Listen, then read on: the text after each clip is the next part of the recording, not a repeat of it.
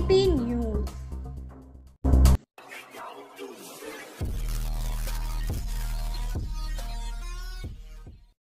पलामू ज़िले के पाकी प्रखंड के समाज सेवी शैलेश कुमार सिंह ने शिक्षक दिवस के अवसर पर अपने शिक्षक डॉक्टर वीरेंद्र किशन एवं रामबली उच्च विद्यालय कोनवाई के प्रधानाचार्य सनातन नंद सिंह से मुलाकात की एवं उन्हें अंग वस्त्र देकर सम्मानित किया।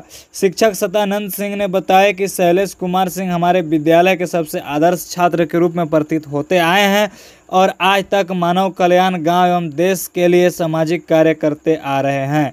पांकी से लोकेश सिन्हा की रिपोर्ट।